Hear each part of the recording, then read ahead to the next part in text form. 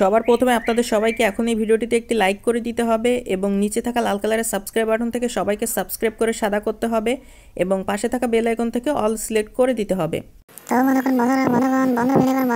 সম্পূর্ণ ভিডিওটি প্রথমে প্রথম ভিডিওটি সম্পূর্ণ দেখুন। তো প্রথমে ক্লিক করে হাতে সরাসরি হতে আমাদের পছন্দ নিয়ে সুন্দর ছবি সুন্দর করে সুন্দর